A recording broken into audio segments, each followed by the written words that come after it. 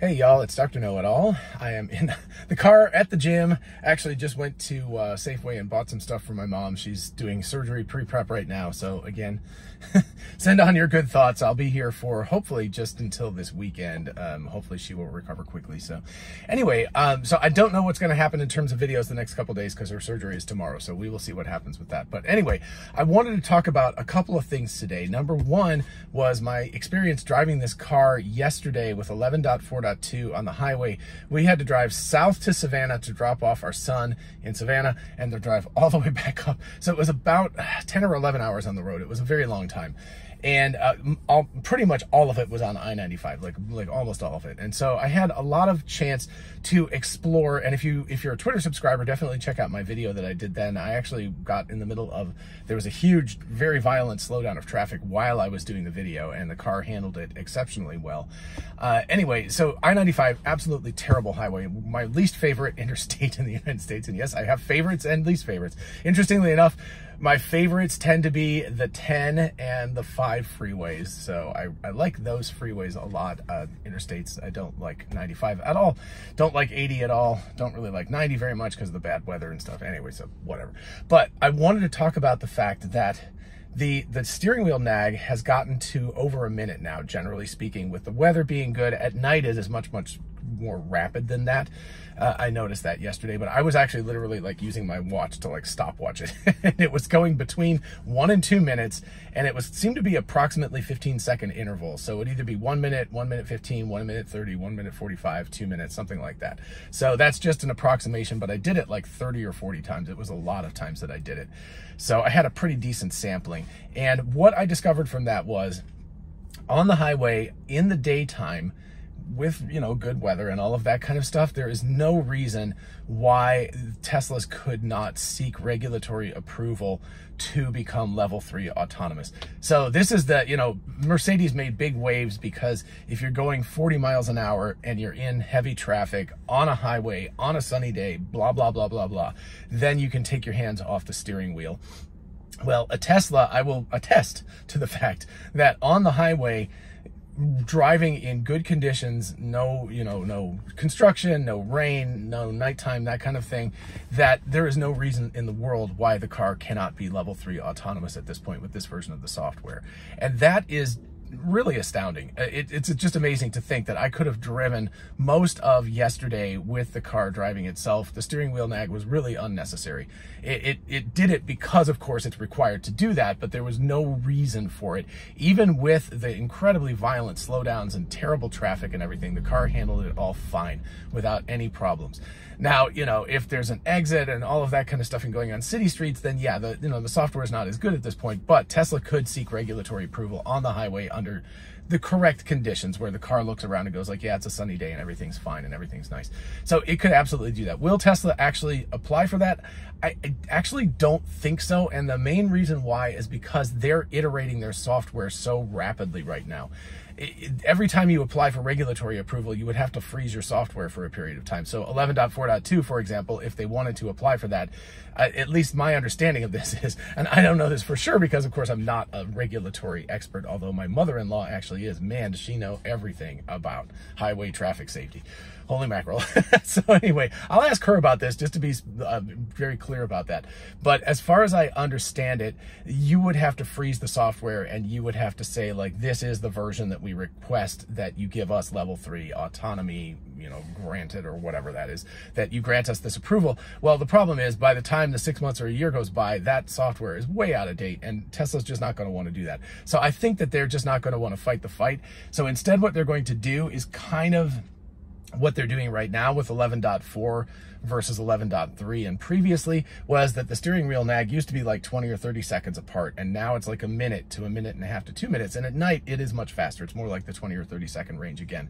But as the conditions are good I think they're just going to dial down the amount of steering wheel nags you get. So officially it's still hands on the steering wheel but it, it will eventually probably get to like five minutes or 10 minutes between steering wheel nags. And so it, it just won't be such a thing anymore. So and anyway, that's I, so the brief story is they could absolutely do it. My experience yesterday on a, on a gnarly, gnarly highway was that there is no reason why Tesla cannot be level three autonomous at this point. And remember, in the levels, level three is in the middle. That's where you don't have to have your hands on the wheel or pay attention to the road, but the car can say, hey, in 30 seconds, an exit's coming up, or I see a construction zone coming up. Hey, pay attention. You should probably take the wheel again. That kind of a thing. So you would still have to sit in the driver's seat and take over under circumstances, but it would give you warning. It wouldn't be like instantaneously take over now. It would be like, hey, in 30 seconds or a minute, please take over. So it would like beep, beep, beep, something like that.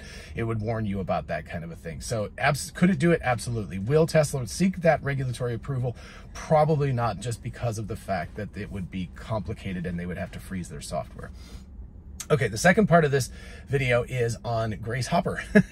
so this is the new NVIDIA hotness, the new, uh, it's a whole system on a chip now. So it, it's a CPU slash GPU. It's, it's looks like an absolutely beastly machine learning type of uh, piece of hardware, a piece of kit, and of course NVIDIA's stock is just hockey stick. It's straight up in the air. I really wish I'd invested in them a couple of years ago. Damn, I'm stupid. Uh, anyway, so, um, um, but, but everyone is like, oh crap, NVIDIA is going to run away with this. They're going to, if somebody doesn't catch up relatively quickly, they're going to just become the hardware manufacturer and they'll basically have a monopoly on AI hardware, uh, machine learning type hardware. So I would like to point out, and many people have talked about counters to this, but nobody has really, really pointed out the ecosystem that Tesla is developing. So they've got, people talked about Dojo to some extent, and that is absolutely going to be, if it works, and Elon has said, you know, what did he say? High stakes, high reward, I think, something like that. But multi, multi tens of billions of dollars if this works. If Dojo works, it's going to be a major competitor to server farms with NVIDIA GPU slash now CPUs in them. And that's something that's a very, very powerful competition. And Dojo, as opposed to NVIDIA for all they, they've done and everything, I was actually just looking at a thing, um, I don't know. It was it was something by ARK Invest, but anyway, that you know, even ten years ago, NVIDIA was a gaming company. Even maybe five or six years ago, NVIDIA was a gaming company. It made GPUs for games. It wasn't a machine learning behemoth, but it's pivoted to do that. But part of the problem is that their entire sort of background is creating gaming GPUs, and they are very, very useful for machine learning, but they're not identical to machine learning. So machine learning has some different needs and things like that. And that's where a, a piece of hardware like Dojo and stuff like Google's uh, TPUs and things like that, that's where those come in. Those are specifically designed for machine learning types of situations. And so they have higher memory throughput things. One of the big problems with machine learning is memory throughput. It's not so much the compute cycles, although obviously that's a big deal, but when you have to take these gigantic multi tens of gigabyte models and you have to shove them into these things and then you know go through them run through all your training sets and you also have to take your petabytes of data run it through there you mash that stuff all together you do all your calculations then you have to sift through that, redo all the weights, and read it back to memory. Those things are very, very inefficient, and that's where a lot of the inefficiency comes from in terms of machine learning hardware at this point. That's one of the things that something like Dojo is designed very, very heavily to compensate for with their very very high bandwidth memory access to compute. And there's there's other things too. There are there are like doing calculations in memory, things like that. I, I watched, I think it was a Lex Fridman interview. It was really fascinating about, uh, gosh, and I'm forgetting the person who was talking about it. It's the guy who does the Maker Lab at MIT. But anyway, just amazing person. And he was talking about how, uh, you know, the people who designed computers were wrong. They put compute and they put memory in separate places. And so one of the, one of the major things to consider is how to do calculations in memory so that you're not moving things back and forth between memory and compute. So that is a another aspect of this. But at the very least, Dojo as a, if you know if they can build this out and if it's as efficient as they want it to be is going to be a reasonable competitor to nvidia and will hopefully reduce nvidia's potential to become more or less of a monopoly in this area and that would be all to the good. I think competition is good for everybody. It's good, it's good for Tesla. I mean, right? It's good that there are these Chinese companies. It's good that Mobileye out there on the on the hardware software front doing um, autonomous driving. It's good that Cruise and Waymo are out there, even though they take a very different approach and they aren't as good. Competition keeps people on their toes.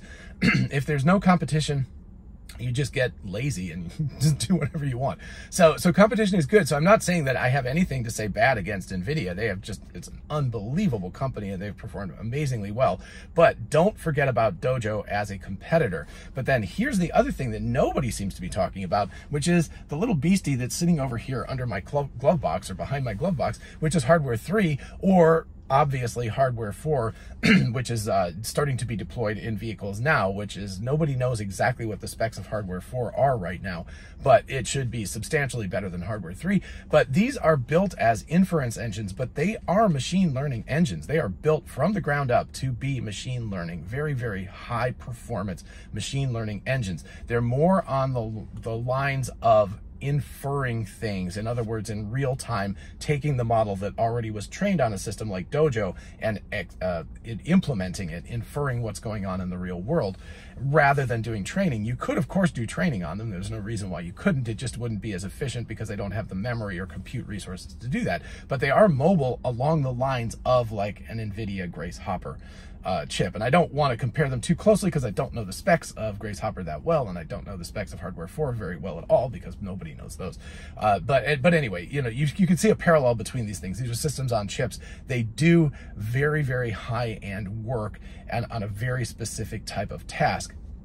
And that allows, that means that what Tesla has is not just the, the big server farm training facilities, but they also have the effectively the edge computing they have the the mobile right the laptop with the gpu in it. So they have both ends of this. They can compete effectively with nvidia on both ends of the scale on terms of the big giant server farms and also on the inference engines. Now the fact that they're putting this all in their own data servers right now and in their own cars right now means that they're not going to be competing in the near term on the mass market with nvidia.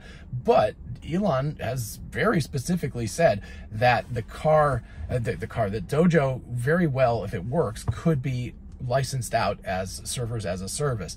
So it could be the kind of thing where eventually, hopefully, researchers will be able to access it. You'll be able to buy time on those machines, sort of like AWS. AWS, of course, being an entry point to NVIDIA GPUs on the back end uh, and CPUs and things like that. But I'm just saying, like, you know, it's kind of a, it's just a front. It's a storefront to that. But I think that this is all to the good to actually think about how Tesla is not just a software company. They're not just a car company, but they're also fully integrated into the capability to be able to compete with a company like Nvidia on the on the AI machine learning hardware front both on the very high end for really exceptionally fast training, but also on the portable end for inference engines. And that is really, really amazing stuff. And then, of course, uh, to circle back to the beginning again, you've got full self-driving being what I would really call fully level three on the highway under proper conditions, that means that these things are already doing a real world job. And if you don't think that that's important and you don't think that that's a milestone, this was really the first time driving 11, even 11.3 on the highway. I was like, eh, you know, it needs help sometimes. Uh, but this, this was just no questions asked, it was able to handle it. Even during some of these really, really violent slowdowns, it didn't like cry for me. It didn't go like, you know, please hold the wheel and tell me you're still there. It was perfectly capable of handling those situations. Are there still problems? Yes. The biggest problem is that the follow distance is too long between you and the car in front of you. So if you're in the passing lane, the car uh, a lot of times cars will come up on the slow lane and get in front of you and and just because they're annoyed because you're not as close. Now of course was it safer? Of course it was safer because the car was further behind so that when there's these drastic slowdowns the car has more room for error to be able to slow down which is better not just for the tesla because i think the tesla can slow down. It can slam the brakes on really hard but it's the guy behind you you always have to worry about. That's the thing. And there was one time yesterday where this guy like he got mad at me. I don't know why but i had to slow down quickly because there's a line of traffic stopped in front front and that guy almost hit me in the back and I had to kind of veer off the road and then he got mad at me and I was like I didn't, I didn't do anything. I had to slow down. There was traffic in front of me. But anyway so I'm not worried about the Tesla being able to stop because it's got very very fast reactions but it's always the guy behind you. So the ability for the car to slow down at a stately pace so that it's not putting the guy behind you in quite as much uh, angst would be a good thing. But it does need to kind of adjust that follow position so that it's not following too far away, which encourages people to go slow lane into the fast lane and to get in front of you, which is very annoying. People really don't like that. So anyway, that's it's something to work on. It's a very complicated balancing act. This won't be a problem when everybody's driving autonomous vehicles because of course cars will just behave themselves then. But it's human nature to be like, oh, I see more than a car length in front, so I'm gonna like squeeze in there. Uh, so while that's going on and while we have to deal with human beings and the nature of human beings, then the car is going to have to drive in a little bit more aggressive manner, at least in assertive mode. So anyway, that being said, I, I'm just, I really love the fact that I see Tesla as being one of the primary future competitors to NVIDIA. And again, not that I have anything against NVIDIA. I think the company is amazing. I think their products are amazing, but competition is good. And it will be really good to see Tesla fighting in that arena. Uh, even right now, I mean, they've deployed millions of these hardware three and soon to be hardware four chips. And hopefully Dojo is, is cruising along right now and doing a fantastic job. And in the meantime, congratulations to the Tesla hardware team and to the software full self-driving team because you guys are absolutely killing it. I'm totally loving driving full self-driving 11.4.2 and I can't wait for the next version. In the meantime, everybody have a lovely day. And again, if you have time, send thoughts and prayers for my mom for her surgery. Thanks so much. Bye-bye.